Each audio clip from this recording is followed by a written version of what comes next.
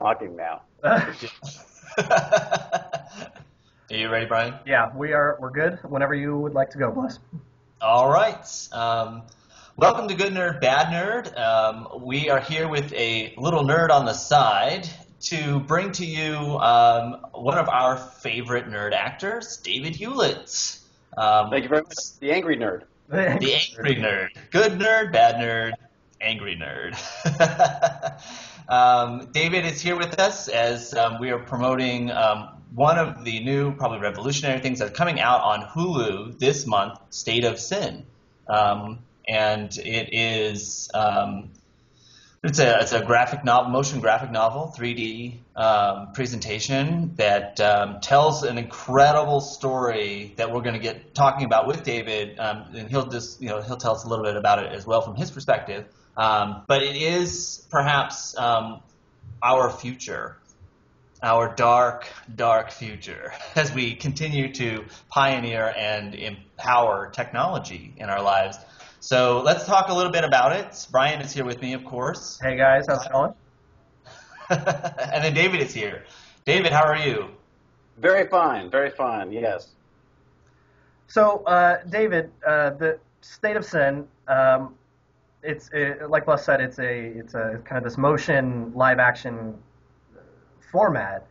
Um, Everyone has such a hard time describing it, and I, I completely I, I do the same thing where people it's like what is it? I was like I don't know. It's like a comic that moves, kind of, you know. So well, I guess the first question would be what what was the decision to go with this format? Be, you know, before we really dive into the story, because the format is the first pe- thing people are going to be kind of uh, Talking about responding about to. experiencing. Yeah. yeah, it's I, I mean, well, I, I mean, I was not a part of this. I mean, I was I was uh, I was just a very pretty face in this, um, but. Uh, uh, but you know, in talking to Jay and the guys at, at Smoke Bomb, it just they, you know, they came in with this idea of doing a comic, basically a web comic, um, you know, with some kind, with some sort of form of motion, make give it a little bit more, make it a little more exciting than just a, a sort of standard sort of comic book. Um, and uh, and then so they they went ahead and they shot all this incredibly elaborate photographs and brought in set pieces and did all this stuff, and then found themselves with this massive hard drive of images that they had no idea what to do what to do with basically. Um, I mean, Jay was joking that uh, that uh, you know next time next time we might as well just make a movie because it, it was just so complex what they had to do. Um, but I, I got to say, I you know at first I was very skeptical because it, it is so strangely limited because of the stills nature of it. Mm. Um, but I think you know I think they did a really good job of sort of creating this sort of hybrid hybrid form of, of, of, of web comic, I mean, for want of a better word. Um, and of course, what immediately happens is then it goes to Hulu, and then they start talking. Now people are now talking about maybe doing an actual series, like a live action series of it as well. Yeah. Um, but I think, and even just as is that format, it's very interesting to me as well. The idea that you can get you can get these incredibly complex stories and you know grandiose sort of imagery out there, you know, without having to spend the hundreds of millions of dollars that uh, that Hollywood does on these things, you know. And I would I would agree with you. Like I started out very skeptical um, about the format because I thought, well, it's just going to be a barrier between me and and the story.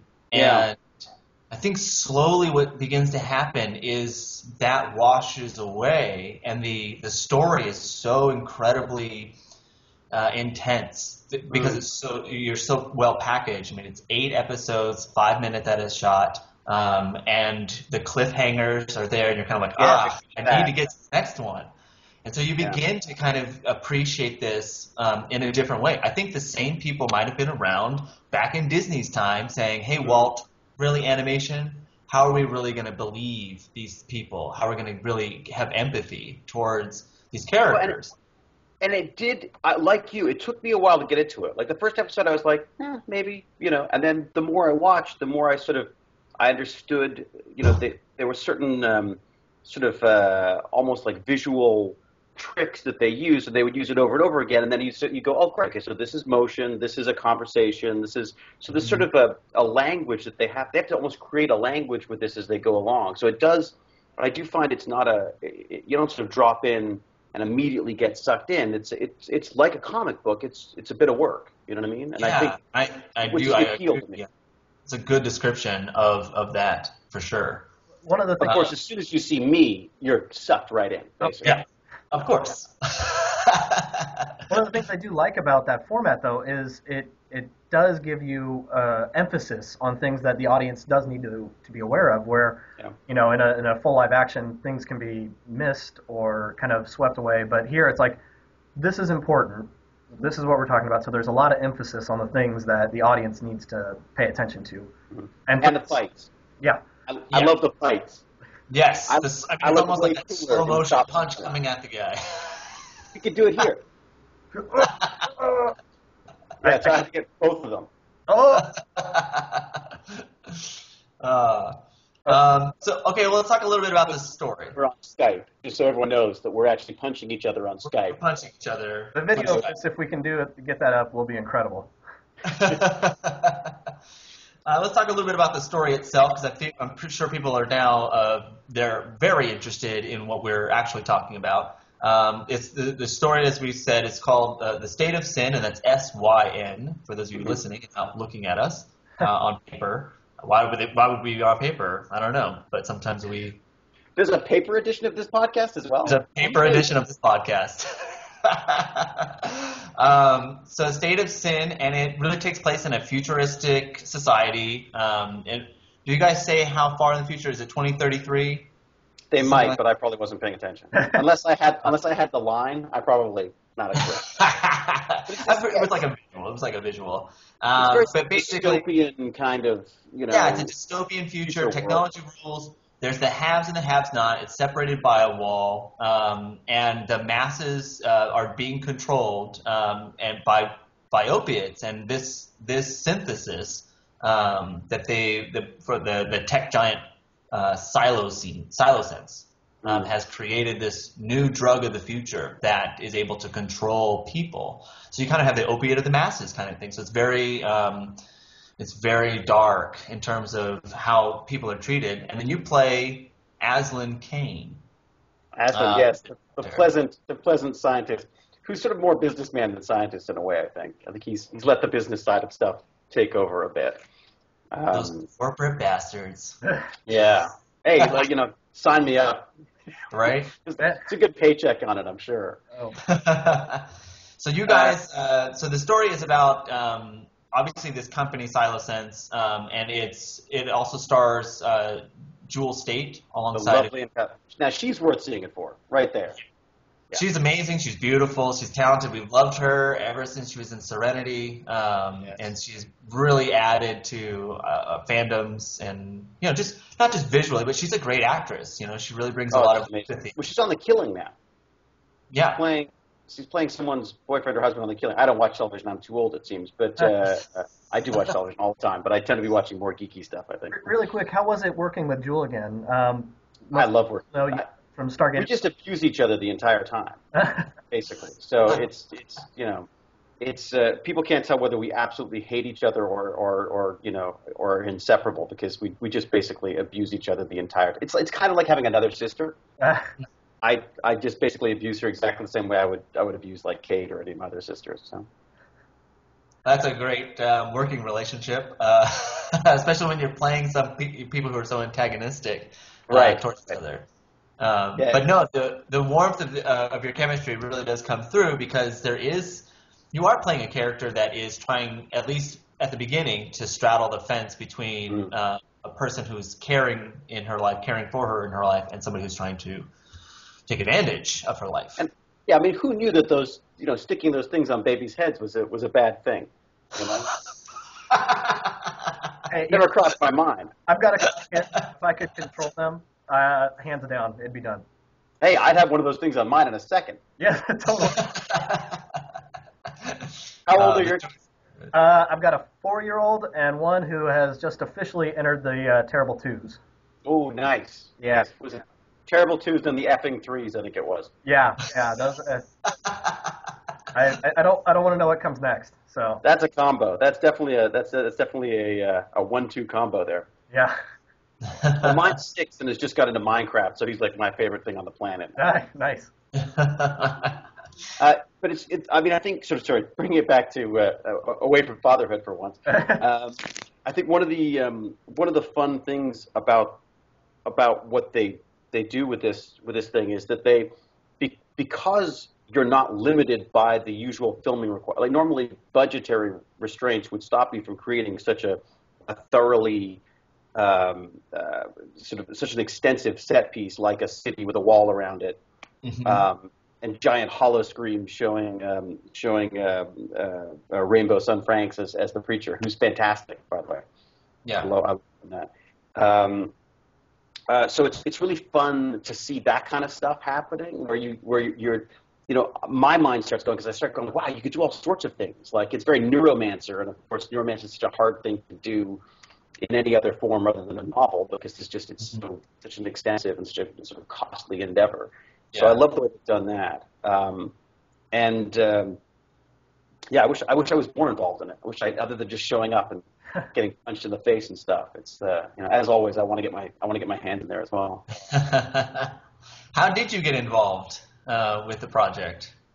I don't I don't entirely remember. I mean, uh, I think it was just a call to the agent. I mean, I think it was just a you know someone someone uh, I guess because it was a Toronto-based thing. Um, and with Canada, it's always good to have Canadian talent in it because of various different of tax, tax, and uh, I mean naturally because of my talent and good looks, but as well as that, also I think Wait, they're you're. Canadian? I'm Canadian, exactly. Yes. This yeah. podcast is over. We've stopped. We're done. yes, I apologize for our our our mad uh, our mad defense ministers from. Uh, what am I apologizing for? That was kind of fun. Hey, it's awesome. Yeah, him him and Rob Ford get them together in a room. That'll be fun. Yeah. Oh, that'll be lots of fun. So uh, Uh, they, they clearly picked you because I mean you you have a lot of nerd cred. I mean your your your, your resume like just screams. It speaks for itself. yeah, you've got countless uh, nerd properties that really your name on the on the show is going to bring a, a big audience.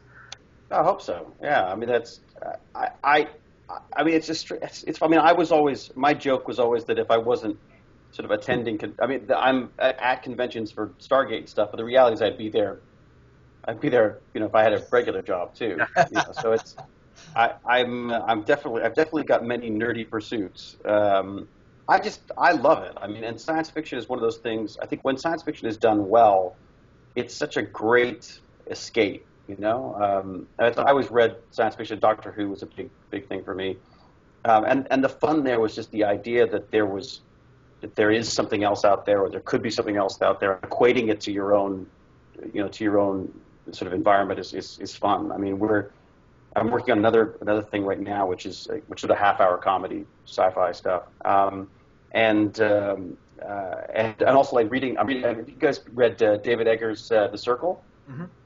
You read that? Yeah, I'm just I'm just going through that right now and quite quite enjoying that sort of take on stuff. So it's yeah. Then I, I tend to get. I'm definitely attracted to the nerd. Attracted to the nerd. You guys are very attractive, is what I'm saying. Oh, we cleaned up just for you.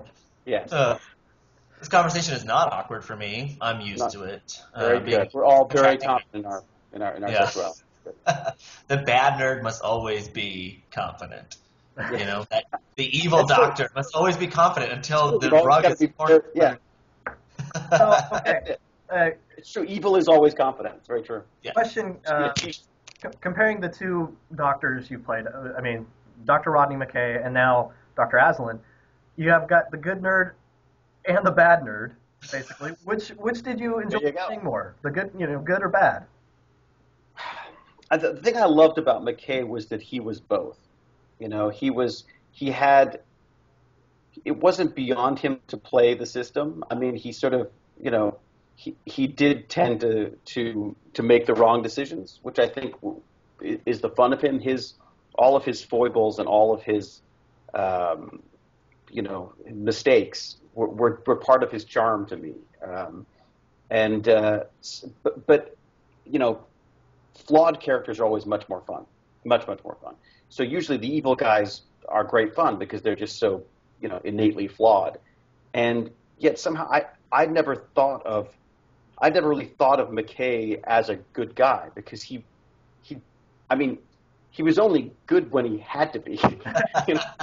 like I feel when, like it saved, when it saved his life, you know. It was like it was forced onto him, and I think he would take credit for stuff that really wasn't his. You know, really wasn't. I mean, he's only he was lucky in many situations. You know. Yeah, I really yeah they really do try to um, redeem McKay more in Atlantis than they did in SG One. He was really he was he was somebody that you enjoyed because he was um, you know it, the the antithesis of Amanda Tapping um, in, in in all of her pursuits, and um, mm. so it, it, was it was good fun to kind of have the two of you there to kind of face off because it was there was chem- there was like suddenly there was oh here's really nerdy chemistry in a different mm. medium than you had between all the other characters. Well, and she was I so think that's noble. why they picked up that character. She, she, well, thank. I mean, that's it was. I mean, I, I love the guy. McKay is uh, he's a fantastic character to play. I mean, uh, you know, Amanda was a big part of that too, playing um, Samantha, uh, because she really, like that first episode, she let me play. I mean, there's a weird kind of a sort of a sort of jockeying for position that happens on shows where you sort of you come in as a guest star and you're a guest star. It's like you know, right. there's there's your leads and then there's these characters that come in once a week to sort of explain things and make you look good. And she just she really let me be offensive to her her character. Yeah. She let me, you know, she and you know, and and and let me go with it. Whereas I think a lot of a lot of, of other actresses would have had a hard time with that because it really is, you know, trying to play straight man to that kind of stuff can be very.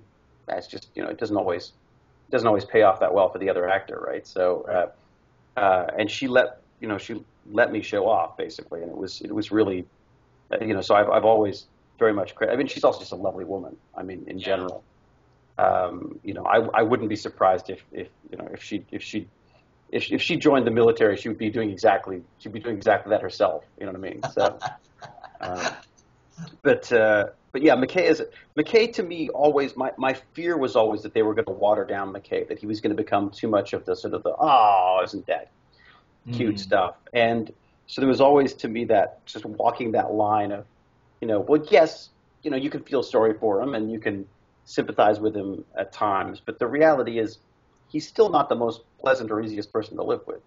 Mm-hmm. Uh, my wife can attest to that. she used to give me 15 minutes when I got home. She said, "You got 15 minutes to lose McKay, or you lose me." Basically, I'd come back home going, you know, go, go, go, go, you know. um, this is just kind of out of my own personal curiosity. I, I, you know, I asked all, but you know, you have all these sci-fi roles in your past. Do you have a, you have a favorite? I mean, because you have a, a, lot of kind of smaller independent films. Um, I think my probably personal favorite of yours is the film you did, uh, Nothing. Oh yeah, yeah, yeah, yeah. I love that. My wife's uh, favorite of yours is Cube. I mean, that, oh Cube, yeah, which is I, also Vincenzo. That got her into sci-fi, really. Um, but I mean, do you have a favorite? I mean, because you do have such a wide. I I mean, I loved playing McKay. I, you know, he was just he was just an awful awful lot of fun, and it was different every week because it was science fiction. It was just you never knew what was going to happen. I mean, you know, you know, you're playing, you know, a complete mental breakdown one episode, and then a, you know, a Studley rod from another dimension. You know what I mean? So it was such a variety of, of stuff there. It's almost not fair for me to compare them to the other ones because that one role was so many different ones. Right. Um, I loved Cube. I mean, I really enjoyed. That was the first. It was the first role where I sort of, I hadn't, where I, I didn't feel like I was trying to be someone else. It was a almost an experiment in, in, in in trying to sort of make the performance as small as possible because um, mm-hmm. it was such a sort of melodramatic, yeah, you know, concept even. And so I really wanted to try to make it very sort of subdued and calm, which is very not me. In that situation, I'd be the first person to panic and get sliced. Like I just, oh my god, and then you know, falling apart. Um, so it was kind of fun to play almost a lead in a way, yeah, like a like a you know a sci-fi lead. Um, it probably won't happen again, but uh, but it was you know it was that was definitely one of the ones that I really enjoyed. And then nothing was just nothing was so much fun because it was just a bunch of us goofing around. I mean, Cube we had assumed the cube wasn't going to do very well because it, it was said rather unauspicious, inauspicious. Um, you can correct that later. Um, We'll fix it in post. it had a, uh, you know, when it first came out, there wasn't a huge amount of, uh, of sort of buzz about it or anything, and um, so we figured it was just going to be, you know, it was just going to disappear the way films do, and and uh, so we started working on like the lowest possible budget concept we could come up with, and Vincenzo and Andrew Miller and myself uh, sort of got together literally in a yurt in Ojai, California. Um, which is a nightmare for me because it's just outside. Yeah. You know, there's insects and animals, and just not not pleasant for me in any way, shape, or form. And uh, uh, I, mean, I remember pulling this giant tick out of my leg during the, the writing process. Um, anyways, uh, and so we just tried to come up with what's the smallest, po- like how do we put people in a room and yet make it appealing to us as a, you know, as nerds, you know, uh, you know, I mean, uh, it's it's that it's the, it's the whole idea of sort of uh, low budget, high concept stuff. And so we sort of came. What would happen if we had the Midas touch in reverse, basically? Mm-hmm. Um, and uh, so we had a lot of fun with that. We actually did a, I, which to me is still almost, I almost prefer it to the film. Was this original? We did a video in three days of the entire movie Really? like as a sort of pre-visualization thing in an earlier draft of the script that that Andrew uh, that Andrew his writing partner wrote, and um, uh, so we did a whole we shot it all like on a little handy cam, and put like green ponchos on to pretend we didn't have bodies and sort of did bad chroma key to get rid of the, the, the, the bodies and stuff. Did a lot of this stuff, you know, that's Yeah. just the head and it was so fun, like so ridiculously funny, but also highlighted a lot of issues with the script. Uh-huh. Just a lot of talking back and forth that wasn't working, and this stuff, and and so it, and then all of a sudden Cube started doing really well, and the budget went up and up and up, and then all of a sudden we're like, oh, great, now we can actually go into the nothing. Like originally we were going to be stuck in the house and couldn't go outside, and um, so it sort of expanded with that. But Vincenzo's just a and Andrew Miller, uh, just incredibly creative, fun, sort of, uh, you know, I've I mean, they've been friends of mine forever. I, I just, you know, Andrew, uh, Vincenzo and I went to, to high school together, and Vincenzo, basically, uh, uh, sorry, uh, Vincenzo and I went to high school together, and Andrew I met up with when we were like 16, and we've just been basically working together, friends together since, and that's the, my my sort of disappointment with the film industry was that it wasn't always like it was when I was working with my friends in high school. Yeah. You know, you get on these big sets and there's yeah, there's you know, there's coffees and donuts and things like that, but you're it's such a tiny slice of the project that you're a part of. Like you come in, you learn your lines, you don't try not to trip over anything and or hurt anybody, and um, remember your lines, and then you go home. Whereas when we first got into this, it was all about like it was everything. You're holding a light, you're holding a boom while you're trying to do your own lines, and and you know, I, I remember running. Uh, you know, a, a teleprompter for an actor on a on a show. It, I, it's I, I much prefer the whole being a part of the whole thing, which is which is why I've started you know writing and directing because I just I all of a sudden I get to go back to that point where I got my you know I got my hands in everything you know so, for good and bad. um, so you mentioned uh, you're a Doctor Who fan, and so we have Mm. to ask: classic Who or new Who? I I'm afraid because I'm so old and crotchety. I um, you know Tom, you're never going to replace Tom Baker for me. Uh, you know, I was, I was, I got into Doctor Who with with the with the Pertwee Baker combo. Like that was the my first big trauma was, oh my God, it's not Jon Pertwee anymore. It's some funny looking guy with a, you know, you know, with the curly hair and a big nose, and it just he just I was like, who is this guy? So I remember being like, this is wrong. Like, where's, my Jon Pertwee? And then being thoroughly enthralled with Doctor. In fact, I would say Tom Baker was the one who turned it into ridiculous fanboy obsession. Um, to the I had the scarves and the hats and the, you know, jelly Yeah. babies. My God, I walked around with those fucking jelly babies. Excuse my language. In you know, and I didn't want to give them away because you couldn't get them in Canada. So I would go and buy them, and they'd like try to give you a plastic bag of them. You're like, no, no, no, it's got to be in one of those paper. yeah, yeah. So for months, I'd walk around with these ancient, like oh, crystallized yeah. jelly You babies. give those away to the people that you don't like. That's it. That's it. Um, you know, I thought that was cool for dates and things, and somehow that was gonna, you know, jelly baby. Um, but but I gotta say, of the new Doctors, I, I, I was a huge fan of uh, of Matt Smith. I really, what I liked about Matt was that he, to me, he was a perfect blend of the old school, sort of Tom Baker type approach, Mm-hmm. slightly, slightly not angry, but you know, there's a little bit of an edge to it Mhm. and uh, and then new because the uh, irritating little brat's only like half my age. So you know, I just thought he did a great. I just thought he did a really great job with that, and I'm really looking forward to um, uh, to seeing what happens now with. Um, oh God, I blanked out his Peter Capaldi. Peter Capaldi. Aldi. Yes, because I love. I mean, that guy. I've loved. I've watched that guy's career since you know he was in Local Hero. Yeah. Uh, Yeah. Which if you haven't seen, you should see. It's a great film. Um, yeah, and uh, you know, thick of it and, and all that kind of stuff. So I'm I'm curious to see, you know, the, basically with his casting, uh, I feel like it's moved back into the realm of it's, it's almost gone more old school again. Not Yeah. just because of his age, just because you know What he brings that- as an actor.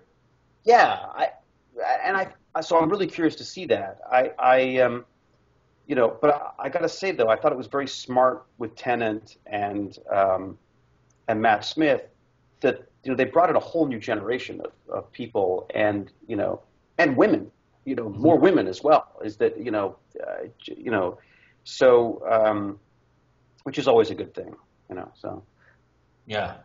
women, Um, women are always a good thing for me. Women are great. Women. That's Worst great. ever. so what do we have to do? I mean, because we want to get you on Doctor Who. I mean, if, Mark, uh, if Mark Sheppard can be on it, okay, and play an American, why why can't you be in there? That's right. I Uh, should be there, definitely. Well, I have to go to England first, don't I? Yeah. We actually have a place in England. My wife has a has a house in England, uh, and um, that we go to all the time. She she keeps threatening that, that we're we're going to move back there. So so so we'll see. Um, it's so funny. I there's a couple of shows. I mean, I'm at the stage now with my ego uh, that. Uh, that I don't I don't really like guest starring anymore. Like I, I don't because you come in for a day and you're a stranger and unless they're a particularly fantastic role. Although I, I gotta say I saw um, uh, Browder Browder on Doctor Who was extraordinary. Like just did a amazing job. I thought. Um, I actually tweeted like how blown away I was because at first I was like, "Who is this guy?" I was like, "Oh, holy crap, that's Browder! He's amazing." um, so he did an amazing, like he took what isn't necessarily the most interesting of roles, but he just did a beautiful job with it. I thought. Mhm. So basically, I can't be a Doctor because I'm just not that good.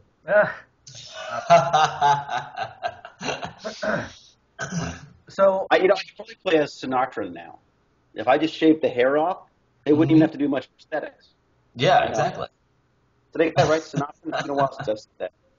Yeah. Sontaira? Well, I, I'm starting a campaign. I think you should be on Doctor Who because a guest star role like Cap- Peter Capaldi did could lead to one day you being the Doctor, and I think that's a go. fitting part of your career as doctors. Um, if they decide, yes, if they decide to go truly old and crotchety, maybe I'll be back. You know, I'll be Yeah. I'll be back in the in the first run. And they reinvent it as the you know. yeah.